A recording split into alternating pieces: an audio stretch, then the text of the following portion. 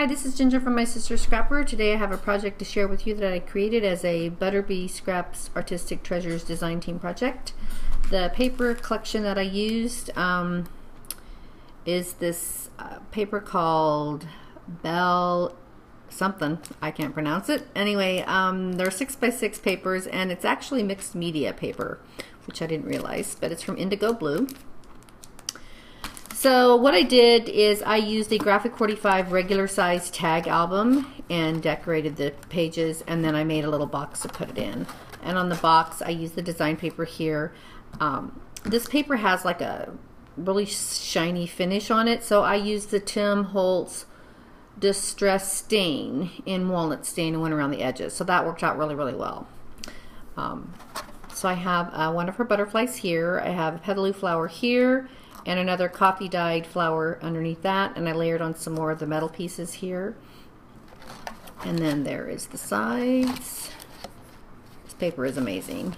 And then on the back I used one of um, her wooden embellishments that says handmade. I love the little car right there. So that's the little box and I did decorate the inside just to give it a little more stability. So it's like this. I tagged some um, May Arts silk ribbon at the top here. And again, this is the Graphic 45 regular size black staples tag album. So on the first tag, I used one of the corner pieces here, and I used a couple of the gears and the clock hands. This little wooden embellishment is actually one that I had in my stash. And then this pretty little filigree here I put in the middle, and then I fussy cut one of the little roses off from the paper and added that on the inside. And then on the back of this one, um, I kept it pretty plain because I like the little chair and I added just some little black bling here to the crown. And on the second tag, again another butterfly here. I laid it on top of a butterfly that was actually printed on the design paper. I have a filigree back here. I have a couple more coffee dyed flowers and I have another metal piece here in the middle. And then these are the angel wings and I added those to the back. Kind of steampunky looking. And then on the back of this one, I love the bird here on the paper, so I just added a corner piece to this side right here. And on the next tag, I added a key from Butterbee Scraps, obviously, and then another uh, metal flower here, another petaloo flower, and two little uh, brown flowers, roses that I had in my stash, and I'm not sure where I got those. I've had them for quite a while. And then I love this cute little bead. This is, again, part of Butterbee Scraps and another little mini gear right here that I added to the front of the clock. And on the back, I made this a little photo mat, and I did leave this open. I have a metal uh, filigree here that I just cut in half and layered it with a black doily and put a little photo mat there. And on this one, again, I have a large butterfly here. I love the Eiffel Tower paper here, and I added another metal piece and another wooden piece that I had in my stash.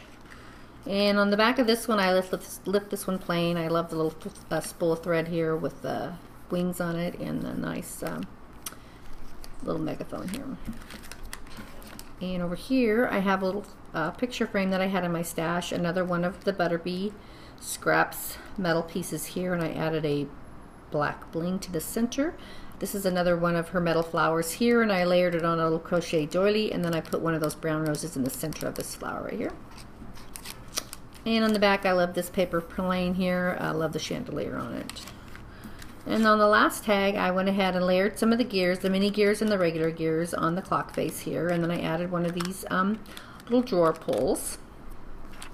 And on the last one on the back, I um, layered one of the metal hearts here, and I had a little heart frame that I put on layered on top of that. And this is that same metal, uh, excuse me, wood embellishment that I had on the back of the box, and I just flipped it over and then added another metal piece on top of that. So that's my little tag album using the Graphic 45 regular size black tag album and then I made the box myself and then I used this uh, mixed media paper from Indigo Blue called Bell something because I have no clue how to pronounce that.